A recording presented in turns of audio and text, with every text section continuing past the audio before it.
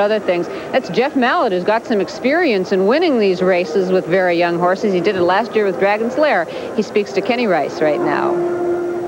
I'm in the paddock with Jeff Mallett, the trainer of Razzle Hanover. She has certainly proven her speed, not just on a mile track, but also on a 5/8 track. How does she look going into tonight, Jeff?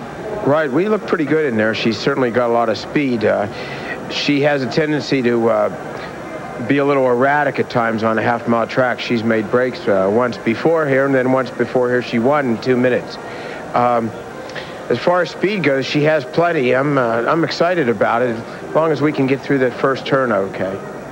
You, you worried any at all about the half mile track with her? Well, it's a concern. She's uh, she had made a break once before on a half mile track, uh, going for a lot of money early in the year. Uh, she's a great filly on a big track. She's a very good filly on a 5/8. She's a world's champion.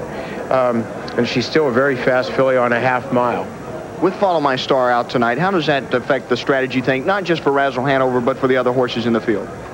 Uh, I think it affects it a lot. Uh, for one thing, it, it puts Billy Haughton in kind of a tough position. Uh, Valentina's got to follow a long shot instead of following uh, Follow My Star, which would have been a big advantage. Um, it sure helps us a lot. You hate to see a great filly like Follow My Star scratched.